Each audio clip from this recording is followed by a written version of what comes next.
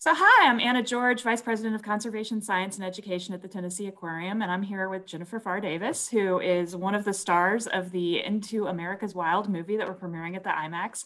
Thank you so much for joining us. Hey, Anna, thanks for having me. Tell us a little bit about what it was like to film this movie. I mean, it looked gorgeous on the big screen, and so what was that experience like for you?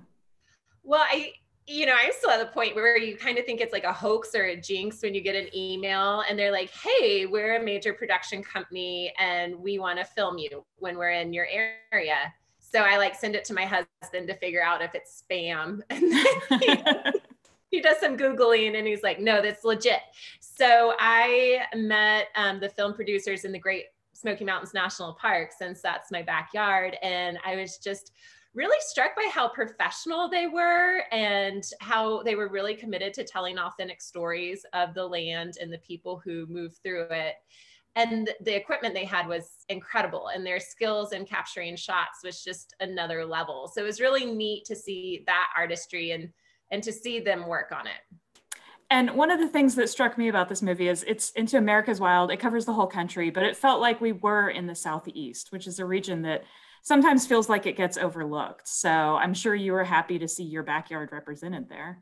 I really was. I think when we talk about spectacular scenery, sometimes like the sexy mountains, the mountains that are taller or exposed, literally, they're the ones that get the pictures or the movies.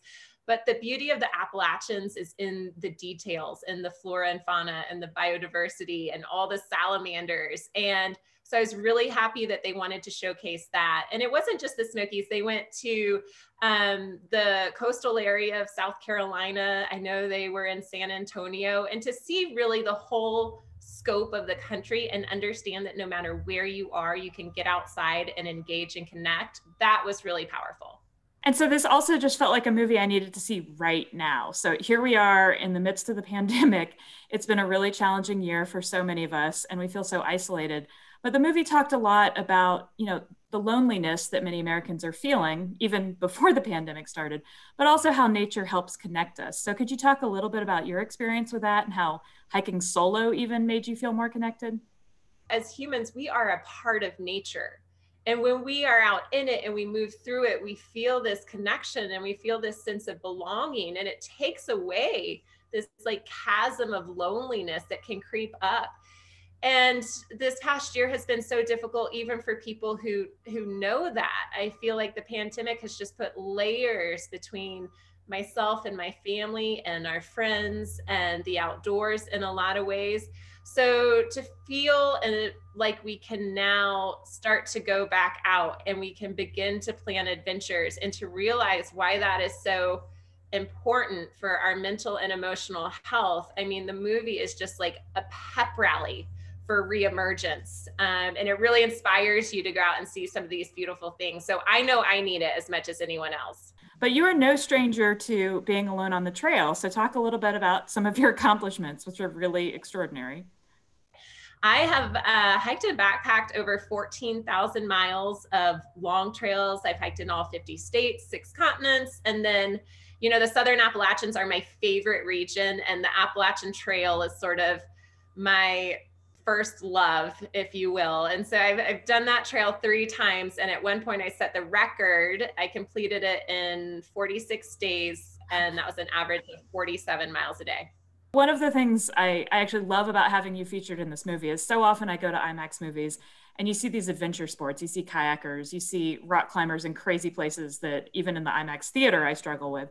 And we do get some of those really fun adrenaline sports, but we also see you out hiking which is a very different kind of accessible activity. So is is this your entry point? Like how do you introduce someone who's never been hiking before? What are your tips for them? You know, the trail is there for anyone at, any phase of life. And there's so many people who come to me and say, "Well, I'm not a hiker." And one of the questions I like to ask them is, "Well, have you walked on a beach? Have you been on a greenway? Do you go to a local park?" Because the dictionary definition of hiking is to take a walk in a natural setting. And when you see people kind of have this recognition, almost this epiphany moment of like, wait, I I do that. Like I am a hiker. And then you can just extend it from there and take it into state parks or take it to the local national forest or then a national park. And it gives them this confidence that, in fact, I was made to move in nature. I am a hiker. So, your kids, how are they outdoors now? I mean, I know they love the IMAX cameras clearly, but you know, was it a struggle to get them started in nature or were they just instantly uh, in love? No, it's never, I mean, struggle is not the right word, yeah. but there is some tension and it is a relationship and it's not always perfect. We have had a ton of temper tantrums on the trail.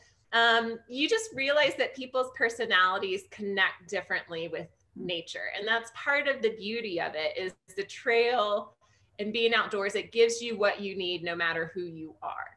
So my daughter is an artist and she's not really interested in forward motion and she doesn't love hiking. And so we really have to tone down our miles if we go out with my daughter. And we like to bring a lot of art supplies. We like to bring books. We play pretend. She loves camping. She can hang out at a campsite all day long, loves the s'mores, loves playing in a creek. So she's definitely a nature kid but we try not to force her with too many, you know, death marches out in the woods. So then she connects that negative experience with being outside.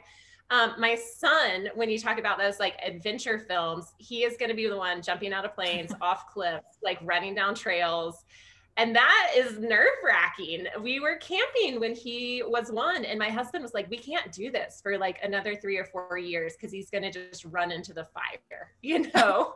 and and thankfully, like we kept with it, but um, it is an adventure taking kids outdoors, and while it is really accessible, uh, I like that there is a need to adapt. And there is this ability to see your children's personalities come out in a really strong way. And you realize that they're different and unique and special. And so that's been the blessing of it. And yes, there have been challenges, but it's been 100% worth it. You talk about your yourself in the movie and your own self-reflection and sense of self-worth and identity and your own view of beauty. And I think that's really some interesting commentary for us to hear right now because I think a lot of us are going through that like, well, wait, who am I who am I putting on clothes for today? like what is the Zoom meeting I'm doing? What are these yoga pants versus do I need to wear makeup if I'm wearing a mask? So if you could talk a little bit about how the trail helped you discover what beauty meant to you. Yeah, and that is potentially I would think a silver lining of COVID if as we let go a little bit of the importance of public perception when it comes to image. Um, but I think as a young woman, particularly, I I had all these just um, toxic thoughts in my mind about what my body was supposed to be or where I was falling short. And when I went outdoors, it just totally changed that because number one, I was removed from popular media and, and, billboards and magazines and commercials. Um, I was surrounded by nature and I felt a part of that. And I recognized how beautiful my natural environment was. And when you feel like you belong in that type of beauty and you are a part of that beauty, that's extremely powerful. And then you also start to appreciate your body for what it can do and the gift of movement and motion and, and what it can give you through function as opposed to like how other people perceive it or judge it. And so it just flipped all these um, preconceived notions and made me really fall in love with just just being human and being a part of nature and, and my body is a gift that could do incredible things. And so that experience is something that I wish we could give every human, and some of them certainly have learned it through nature, but if I could just develop a course or, you know, a present to give to every 16 year old in the US, that's what it would be. And hopefully this movie offers a little bit of it as well. Did you get to interact much with the rest of the cast that you had, or, or was it really just kind of isolated pockets of filming? Well, uh, you know, I didn't get to meet everyone. Um, I, I, would have loved to, but the two uh, main characters that take you across the United States, John and Ariel, you know, they're both from Native American indigenous tribes, and their voice and story is extremely powerful. And then uh, another person in the movie who I was able to meet was Emma Faye, who uh, is deaf and advocate spends her time advocating for um, people with hearing loss and trying to get them the supplies they need to be able to hear and also get them out into nature to engage. And one of the new technologies that is, is briefly previewed in the film is uh, this machine that actually allows people who are not able to hear to feel the vibrations of nature. And that is, I mean, I cried watching that part of the film, like to see kids who all of a sudden felt and heard a bird next to them or the wind through the trees. That was incredibly powerful. And so this film really focuses on you know we are very different across america and the landscape is very different across america and as opposed to the messaging that i think unfortunately has been covered so often this past year about us being different and divided this movie has a message of we are unified and we can come together despite our differences. And perhaps the best place to do that is on public land because it is our literal common ground. One of the things I enjoyed though is how much it showed you that not all of these people who are out doing these adventure sports started just born excellent. Like they they all started where every one of us starts, which is not knowing a thing about what you're doing. And watching some of the videos of the fails as they're learning is is also incredibly powerful. And so I'm sure you went through some of that. Now, am I ever correct in remembering that you had not ever like overnight backpacked before you started the trail?